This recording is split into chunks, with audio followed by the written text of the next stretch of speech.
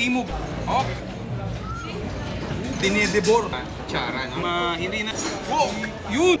Magandang good evening po. Kung saan nga may masarap, At narito na naman tayo sa panibagong episode ng Mr. Pares Overload Challenge. Yan. yun ang challenger natin, sir. Magpakilala ka. Mga pala si ano, Francisco Salvador. Trabaho, sir. Joyride. Joyrider. Kasabihan, sir. Meron ka? Kung saan may masarap. Yun. Kailangan dayuhin. Yun! Yun. Kaya nandito ka sa...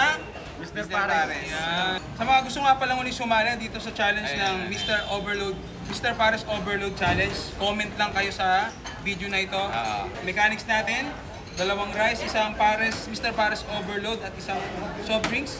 1,000 pesos within 6 minutes pero pag nabit niya pag nabit niya yung 3 minutes and 7 seconds 2,000 pesos. Mr. Pares Overload Challenge in 3, 2, 1, go! Go! Ten, ten, ten, ten, ten, ten. Taga Bicol, mahilig sa maanghang. Tingnan natin. Yun no? Ibang style bro, ibang style.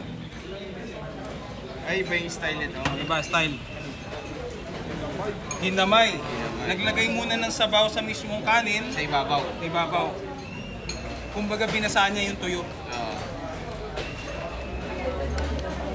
Yun no? Grabe, lalaki ng tipak ng ano. 3 minutes and 35 seconds.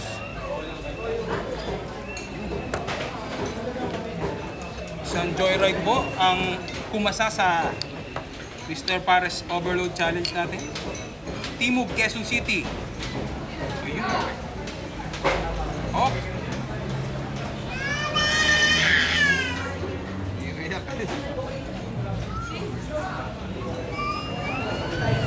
Ang humamon. Parang Smooth lang din, ha? Smooth lang, smooth Puro lang. smooth na yung mga challenger natin ngayon. Nakaraan, puro wild, eh. wild. Talagang Dalang, parang mga ano eh. Dinosaur. Yun oh. smooth na smooth. 1 minute and 18 seconds.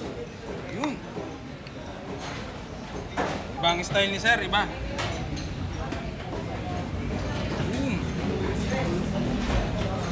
Dinedebor. Dinedebor yung kanin.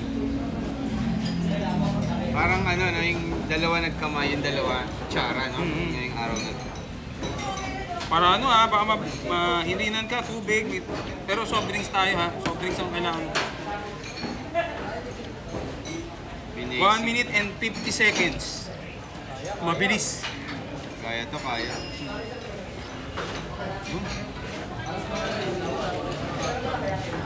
Kasi pag wala pang 3 minutes, naubos mo na yung isang rice. Malaki chance. Oo, malaking chance na. Ito na, ubus na eh. Ubus na eh, isang rice eh. Gasolina ka muna para ano, dumulas. Yun. Uy! Binawasa, Ay, binawasa bigit, para makapuwersa, makapuwersa. Para lumamig din. Oh.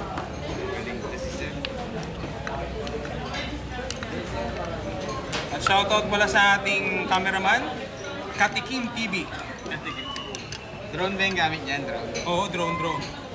Galing, galing mag-drone, no? Tutukan. 2 minutes and 40 seconds. Kaya, kaya. Kaya, kaya, kaya.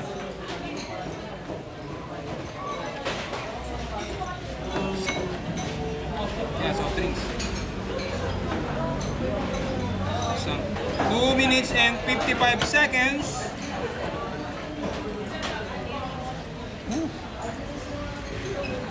Mr. Pares, ang araw-araw mong kapares. Yun.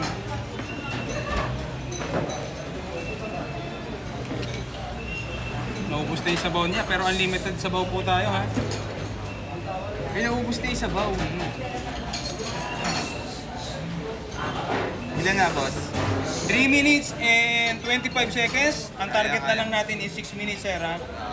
Lagpas na siya dun sa, ano, 3 minutes and 7 seconds. Oo. yun. Agutong, kaagutong panoorin si sir.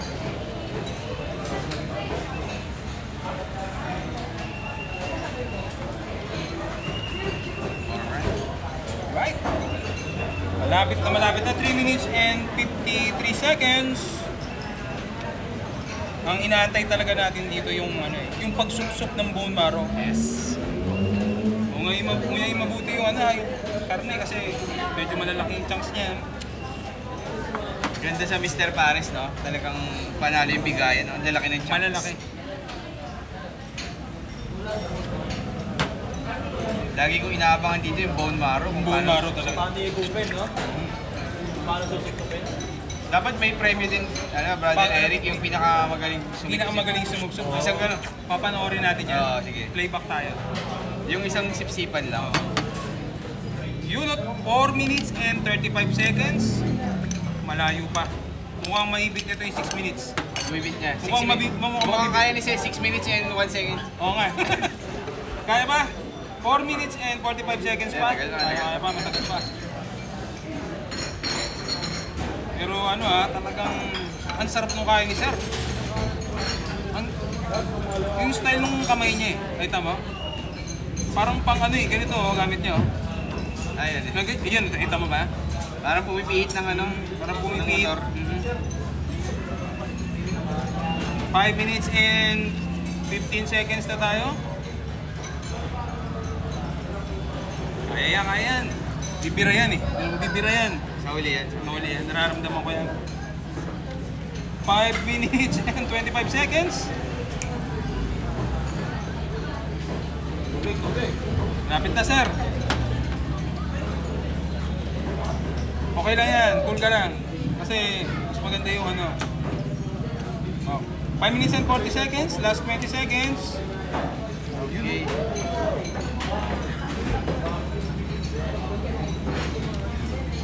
Five minutes and 53 seconds.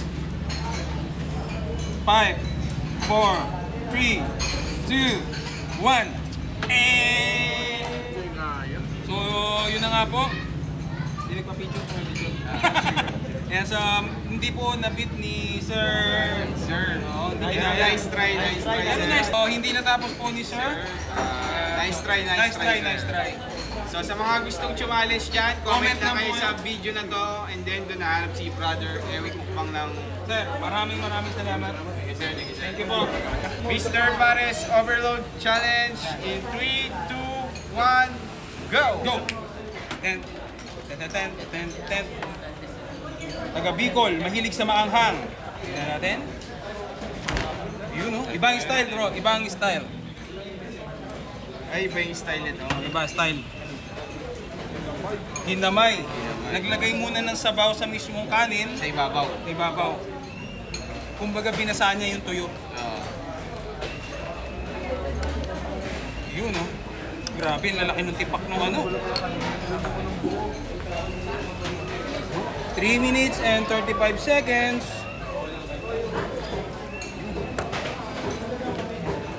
Isang joyride po ang kumasa sa Mr. Pares Overload Challenge natin. Timog, Quezon City.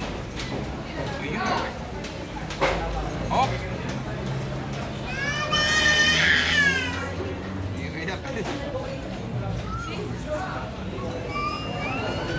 ang humamon.